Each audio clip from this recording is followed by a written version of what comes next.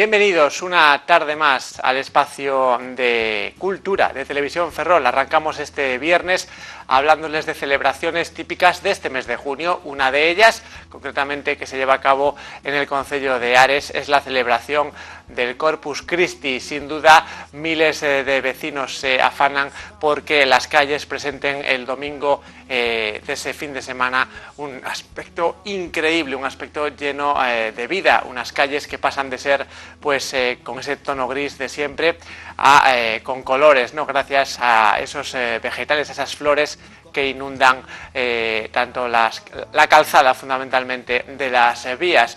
Ese Corpus Christi que sirve para poner en valor el trabajo de muchísimos vecinos, casi, casi todos ellos, por desgracia, pues de avanzada edad, aunque todavía queda algún joven que ayuda en la confección de las alfombras eh, florales. Estaremos luego en Ares dando un paseo por eh, allí y conocer cómo fue o cómo estaba el ambiente el pasado fin eh, de semana. Y también estaremos con una persona conocida a nivel nacional, un periodista catalán, Jordi Évole, seguramente a todos ustedes les eh, suene, este presentador que acaba de ganar el premio José Couso de Libertad de Prensa, el undécimo premio de este pues fallecido por desgracia eh, cámara, José Couso, que perdía la vida eh, pues eh, de una manera muy trágica recientemente, hace 11 años, hace ya algunos años, en un conflicto internacional. Y también estaremos con los Rotarios, con el Rotary Club de Narón, ya que este club que tiene como objetivo ayudar a los más necesitados sigue creciendo y hoy vamos a conocer a dos nuevas incorporaciones en esta entidad que preside Antonia Núñez. Pero antes, como siempre, les presentamos el sumario. El municipio de Ares se volvió a volcar con la celebración del Corpus Christi gracias a la gran implicación de jóvenes. Ellos y los mayores del lugar diseñaron durante todo el pasado sábado unas alfombras espectaculares que lucirían espléndidas al día siguiente. El presentador y periodista catalán Jordi Évole recibió recientemente en el Teatro Jofre el premio José Couso de Libertad de Prensa. Évole pasó por el Concilio de Ferrol, donde fue recibido por toda la corporación municipal, en un encuentro en el que también participaron el presidente del Club de Prensa, Ciro López, y el decano del Colegio de Periodistas de Galicia, José Manuel Pereiro. Los artistas Rafael Nadales y María Portos incorporan al Rotary Club Narón en un emotivo acto celebrado en la sede de la institución que preside Antonia Núñez Peral. Los directivos del club recordaron quiénes eran los rotarios y cuál era su misión en el mundo, unirse para mejorar la vida en nuestro entorno más próximo y también en el mundo entero.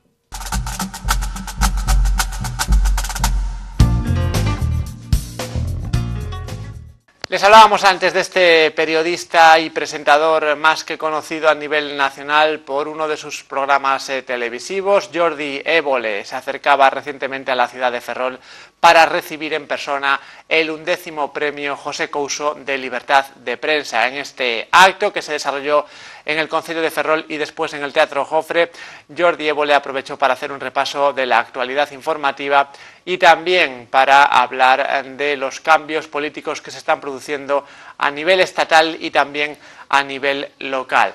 Jordi Évole también eh, tuvo un recuerdo, lógicamente, para José Couso y también eh, pues, eh, elevó una queja con su estilo habitual sobre la situación que viven muchos periodistas. Sin duda, una jornada intensa la que Jordi Évole pasó recientemente aquí en la ciudad de Ferrol. El presentador y periodista catalán Jordi Évole recibió recientemente en el Teatro Jofre el premio José Couso de Libertad de Prensa, un certamen que llevan organizando ya 11 años el Club de Prensa de Ferrol y el Colegio de Periodistas de Galicia. Pero antes Évole pasó por el Concello de Ferrol, donde fue recibido por toda la corporación municipal, en un encuentro en el que también participaron el presidente del Club de Prensa, Ciro López, y el decano del Colegio de Periodistas de Galicia, José Manuel Pereiro. También os quería decir que para mí es muy contradictorio recibir este premio, porque por un lado es un honor enorme recibir un premio con el nombre de José Couso, pero por otro lado me da una pena y una rabia enorme recibirlo, porque si no lo recibiese querría decir que a José Couso no lo, no lo habrían asesinado. Y, y la de José es otra de esas muertes absurdas, indignas, injustas que provoca una guerra El premiado hizo un amplio repaso de la actualidad, comenzando por el cambio político que se está viviendo en numerosos municipios, donde se producirá un relevo ideológico en los gobiernos. Para Jordi Évole, el reciente resultado de las elecciones es consecuencia de la lejanía existente entre los votantes y los políticos. En relación a su programa, Salvados, el premiado se considera un privilegiado. Y nosotros tenemos la fuerza para hacerlo, y eso hay muchos, muy pocos periodistas que, lo puedan decir. Desgraciadamente, la precarización de la profesión es el auténtico cáncer ahora mismo de, nuestro sector, que vive un momento muy bipolar, porque por un lado tenemos unas empresas periodísticas que yo prácticamente diría que, que, muchas de ellas están en quiebra, pero por otro lado nos encontramos con una ciudadanía con más ganas de saber que nunca, sobre todo de saber qué nos está pasando, qué nos ha pasado y, qué, nos puede, qué nos puede pasar. Évole también dejó su recuerdo en el libro de honor del Concello de Ferrol y se mostró encantado de haber sido el afortunado en 2015.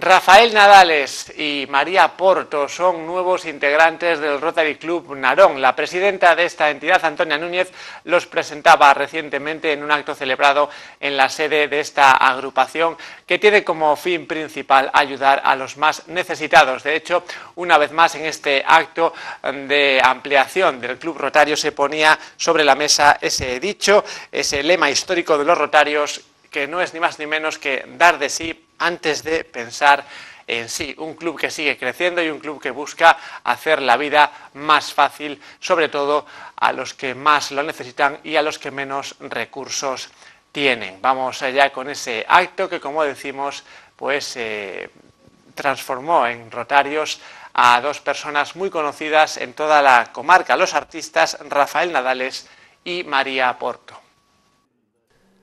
Los artistas Rafael Nadales y María Porto se incorporaron recientemente al Rotary Club Narón. Lo hicieron en un emotivo acto celebrado en la sede de la institución que preside Antonia Núñez Peral. Los directivos del club recordaron quiénes eran los rotarios y cuál era su misión en el mundo, que no es otra que unirse para mejorar la vida en nuestro entorno más próximo y también en el mundo entero. La procedencia de los rotarios es muy variada ya que este movimiento, que nació en Estados Unidos, se ha extendido por todo el mundo sin distinción de raza ni ideología. La máxima dirigente del Rotary Club Narón, Antonia Núñez, daba así la bienvenida a los nuevos miembros de la entidad rotaria. Conforme los principios de Rotary, institución que fundó Paul Harris en Chicago en 1905, seréis entre nosotros representantes de vuestra actividad y como tal estaréis obligados a llevar a vuestro radio de acción, eh, vuestros ideales, servicio a la patria y a la humanidad. Entre los nuevos rotarios destacó el discurso de la concejala del Concello de Narón, María Porto, que se mostró entusiasmada con esta nueva etapa, en la que tiene claros sus propósitos. Para participar en su amistad y compañerismo, amoldar mi actividad a los altos ideales de Rotary y procurar como vecino y como ciudadano hacer de esta ciudad y de este país el mejor lugar para vivir.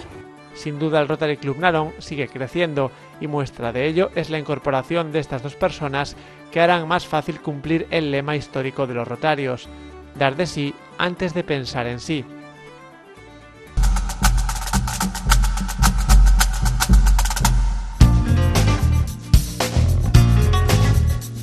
El momento de darnos un paseo por el Concello de Ares, donde el fin de semana pasado miles de vecinos se afanaban porque las calles quedasen perfectas para el domingo pues relucir con esas ah, alfombras florales eh, todo el eh, municipio. Sin duda el Corpus Christi es eh, algo que aquí no se pierde, en Ares no se pierde a pesar de que hay preocupación por la falta de implicación de los más jóvenes. Nosotros nos dimos un paseo el pasado fin de semana por allí y pudimos hablar tanto con personas que ya llevan pues colaborando muchísimos años en estas alfombras florales como con las nuevas generaciones que también viene empujando fuerte, aunque bueno, hay que recordar que todavía hace falta más colaboración juvenil.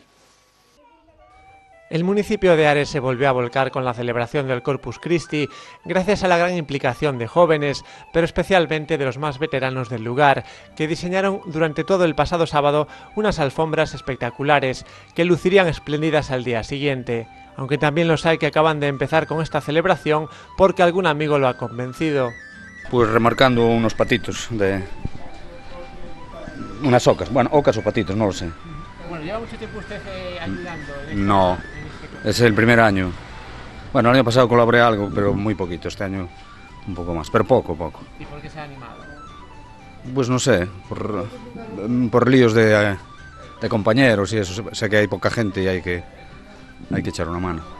En nuestro paseo por las calles de Ares también nos encontramos con otros vecinos que llevan más años trabajando porque no se muera una tradición que comenzaba hace ya muchísimo tiempo.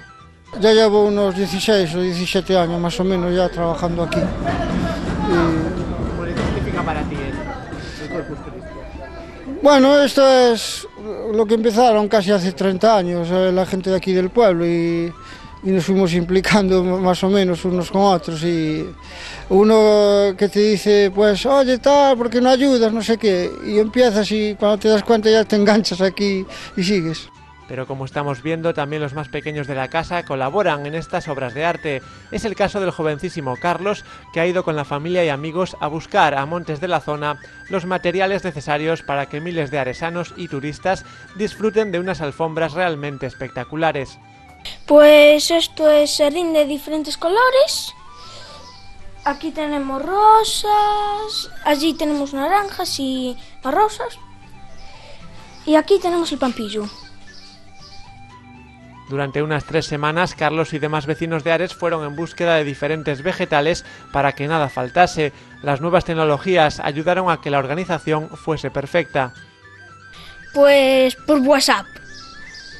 Nos organizamos por el WhatsApp, por un grupo y fuimos a diferentes zonas a por todo. No, no fue solo todo en Ares. Estuvimos Mugardos, Fene, muchos sitios.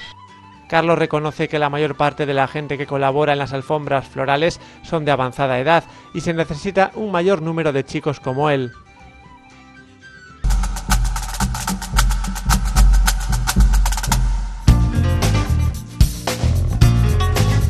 Bueno, y ahora es el momento de darles las claves culturales para los próximos eh, días. Ya desde esta noche, eh, como ya suele ser habitual, una de las salas de Ferrol, la sala Super 8, abre sus puertas a la música, en este caso a la música garage, punk, psicodelia y post-rock. Lo hace con el concierto del grupo The Boas y también Dead Routines una sala Super 8 que siempre está al pie del cañón para ofrecernos la mejor música, pero ya a partir de mañana las actividades se multiplican, destacando sobre todo esas que se celebrarán al aire libre. Este próximo sábado habrá animación infantil en el centro de la ciudad de Ferrol, talleres, cuentacuentos y demás actividades para que los más pequeños no se aburran ni un minuto. Ahí tienen la agenda cultural. Hoy viernes a las 10 y media de la noche en la sala Super 8 de Ferrol, concierto de The Boas y Dead Routines, música garage, punk, psicodelia y post-rock. El sábado 13 de junio a las 8 y media de la tarde en el Teatro Jofre, obra Al final de la carretera, compañía Chalo Produccionac. El domingo 14 de junio a las 8 de la tarde en el Teatro Jofre, gala fin de curso de la Escuela de Danza Esquío y el jueves 18 de junio a las 8 de la tarde en el Pazo de la Cultura de Narón, gala 20 aniversario de la Asociación Cultural Mundo Danza. Exposiciones en la Exponab Sala Carlos III, Misión Atalanta, fotografías. Hasta el 12 de junio en el Colegio Afraga de Aspontes, Polacara, caricaturas de 53 artistas gallegos. También hasta el 12 de junio en la Casa de la Cultura de Fene, Pequeñas Crianzas Coarte, pinturas y esculturas de alumnos de la Escuela Infantil A Galiña Azul. Hasta el 14 de junio en el Centro Cívico de San Xiao de Narón, obras finalistas del séptimo concurso de pintura Cidade de Narón. Hasta el 19 de junio en el Centro Torrente Ballester, Ferrol en Reflexos, fotografías de Manuel Pombo Naveiras. Hasta el 20 de junio, Casino Ferrolano, Galicia Rural y Marinera, pinturas de Lis. Y hasta el 28 de julio en la Exponab, en la Sala Carlos III, Los Ojos de Ulises, una visión contemporánea del mar, pintura y escultura de 20 artistas contemporáneos. Y recuerden en Ferrol este sábado día 13, animación infantil en las calles peatonales del centro de la ciudad, de 11 de la mañana a 2 de la tarde. Talleres, cuentacuentos, trickers cars, música e invitación Bermú.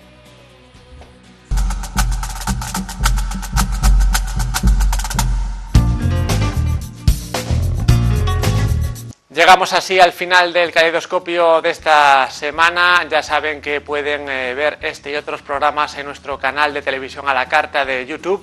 Nos pueden seguir también a través de Facebook y en directo en la página web tvferrol.es. Gracias por estar ahí y muy buenas tardes.